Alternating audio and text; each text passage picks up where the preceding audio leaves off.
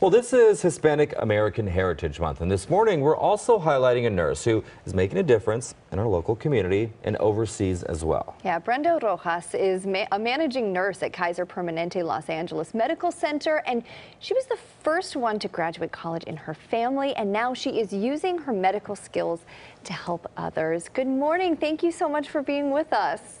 Good morning. How are you? Great. Thank you. So tell us about being the first one in your family to go to college and a little bit about your journey through nursing school. Of course. My name is Brenda Rojas. I work for Kaiser Permanente. I was actually the first one to graduate uh, from a university with my bachelor's and my master's in nursing. And I found many great mentors uh, throughout my medical career that actually helped me achieve my medical goals. Um, through my nursing, I went to Azusa Pacific and Mount St. Mary's, and it really gave me the opportunity, as well as Kaiser, which helped me grow as a licensed vocational nurse, a registered nurse, and now an emerging uh, nurse leader, which I have the hopes of inspiring others to do the same. Um, and, you know, I continue to motivate all Hispanic nurses to go out there and do the same. Yeah, you know, you've worked in the hospital through the pandemic. So talk a little bit about your experience as a frontline worker and, and what that was like. I mean, y'all uh, were the heroes of this pandemic and you worked through so much and unfortunately saw through so much as well. Of course. So, being in the hospital, we saw a lot of COVID patients. Uh, being a bilingual interpreter actually helped me communicate with our Latino population and, be, and being able to promote uh, healthcare outcomes, especially during the COVID pandemic.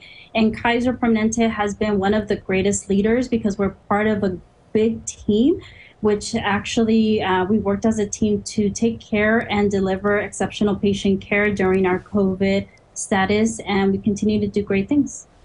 And you volunteer with Kaiser on medical missions in Latin America. So these are trips to rural areas like Guatemala, Peru, and El Salvador. Tell us what it's like to help those who are otherwise without access to medical care.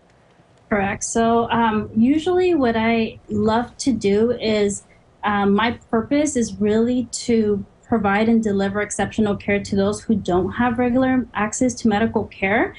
And I serve the Latin community countries because I speak Spanish and I'm very fluent and I can understand the language, understand the culture, and I'm able to promote health and actually um, give medical care to patients who don't have anything. And Kaiser Permanente has actually been one of my biggest supporters in these medical missions because they have um, their mission is also to provide um, exceptional patient care to patients and promote healthy communities and diversity. Yeah, you know, it it takes a very special person to work in the medical field. So, what would you tell others who are watching this and considering a career potentially in nursing or just in the medical field because it takes so many different positions to to help out the community? Of course. So I give a message to other Latinos, Latinas, and everyone else out there to set clear and specific goals. Know your why, seek mentors and resources that will help guide you. Uh, work hard, don't give up, and always, always continue to learn and never stop growing. I love that. Yes, really good advice. All right. Thank you so much for being with us. Thank you so much. You guys have a great day. Thank you. you. Keep being an inspiration.